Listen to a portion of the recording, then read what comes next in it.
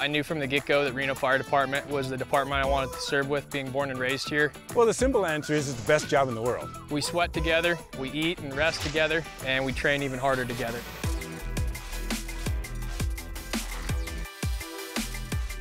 This time on STEM Works, we'll visit with the Reno Fire Department to explore the STEM careers and the skills they utilize in both firefighting and fire prevention.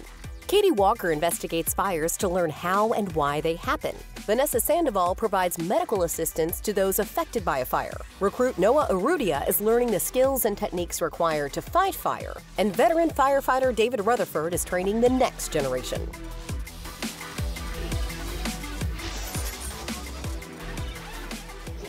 As a single role paramedic, we're here to back up our fire line personnel, but we also serve to the public. If we need to, we will take a patient and transport them, but we're mainly there for if one of our fire guys go down. I'm a fire investigator. So we do origin and cause. If there's a fire, we go in and we try to figure out where it started and how it started. Our job is to teach them to be thinking firefighters. We want you to be able to problem solve and adjust on the fly. The most valuable skill set we're learning is how to be firefighters and how to suppress fire. We teach them building construction, we teach them fire hose management, so they have to learn how to pull it, reload it, know where it's gonna land when they do pull it out, and then where they wanna go to, so they gotta think ahead. We pretty much go into anywhere. So, you know, sometimes vehicles catch on fire, homes, apartment complexes, businesses, outside. It can be a campfire, it can be a brush fire. You have a crew cutting the roof, going in the windows, breaking open the doors to let some of the heat and smoke and steam out. You have another crew that is gonna get water to the engine, so they'll go to the hydrant. We'll discuss a game plan, who's grabbing tools maybe to open a door, which direction they're gonna go, and how they're going to help each other. If it's a working fire, investigators automatically get called out. Sometimes it'll look suspicious and then we'll respond. Typically EMS is also going at the same time. Most of the time we are first on scene for patients that are needing help. We do get dispatched to fire calls as well, but we're just there for the medical side. We're here to show up and be present on people's worst day and do so efficiently and safely, not just for the people involved and victims, but for ourselves. Our model is based on time response. We want to get there as soon as we can to handle the situation. Fires happen, unfortunately. If we're able to determine why they started, we can prevent that from happening again. And it just makes the community safer. The first step for me was just identifying the best path and the most efficient way to get to here. I talked to people, got to know people on the department, did station visits. We all have our basic training, but to be a single role on the EMS side, you have to have your paramedic certificate or your national registry. So I did go through Truckee Meadows Community College to obtain that. I started as a wildland firefighter when I was 19, and I fell in love with the fire service, and I knew I wanted to be a part of the fire service. You come in as a cadet, and you go through the trainings just like you're back in school. Book work, drill grounds, tests, quizzes, all that kind of stuff. We're learning a variety of different fire skills from hose management, rescue and search operations, vehicle extrication. Next week we'll be moving into our wildfire management week. There's a panel that comes in, captains and chiefs from other departments that put you in situations, scenarios, and see how you handle that. So it's a testing process, just like anything else. Once you get a job with Reno Fire Department, there is the National Fire Academy back in Maryland, and there's a two-week course. They have burn cells. They set up rooms the way a room would be set up, and then they set it on fire, and then you get to go in and see how the fire patterns were affected. We have to do clinical hours, which are hours in the emergency department, and you have to be able to do blood draws, medication administration, CPR classes, health classes, child development, and then we have about, I believe it's 480 hours on an ambulance that you have to complete.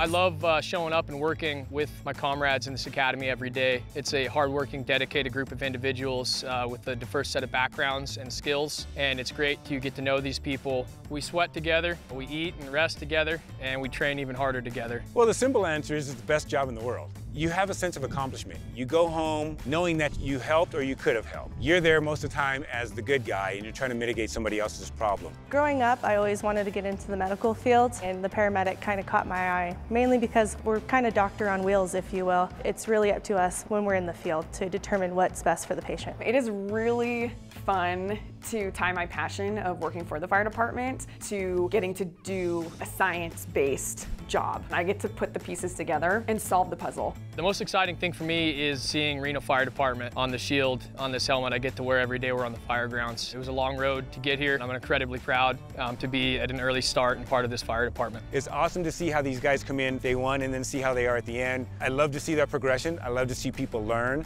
I love to go home with that satisfaction knowing that you poured into somebody else's life and you help them become a better individual. This is a great career to make my full-time career and be a bigger part of the community and, and something that's bigger than just ourselves. We're at about our 10th week right now and uh, the train's rolling along full steam and we're all hanging on and trying to pick up everything we can along the way. It's very exciting. You never know what you're going to get, so that's what makes it interesting. And they're very welcoming of everybody and they want us to succeed. I'm very proud to say that I work for Reno Fire Department. I'm a paramedic.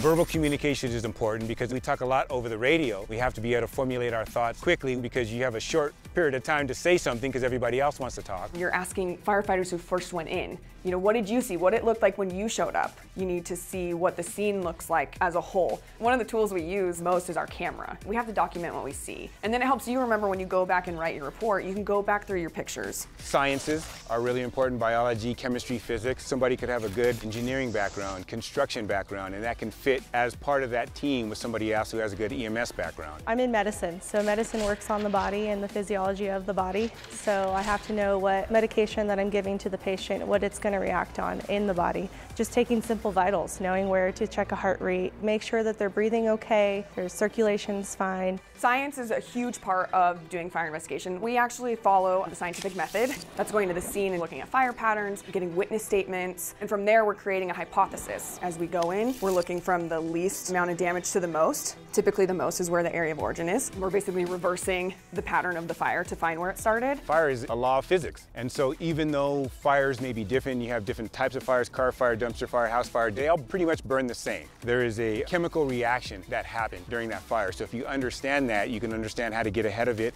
how to mitigate it, control that fire, and how to put it out. One of the coolest tools we use is Boston, our ignitable liquid detection canine. He can go into an area and he can smell if accelerant was used and he will indicate, which is when he'll sit. And so we know to take that sample and send it to the lab. So then the lab will test to confirm that there was accelerant used. We're calculating stuff constantly from the time we're pulling up on a scene to when we're going in, when we're determining our line sets, what we're pulling, pressures. There's a lot of math involved in that. Each hose has a different friction loss. It constricts the water, so the smaller the hose, the more you lose at the end of the hose coming through the hydrant.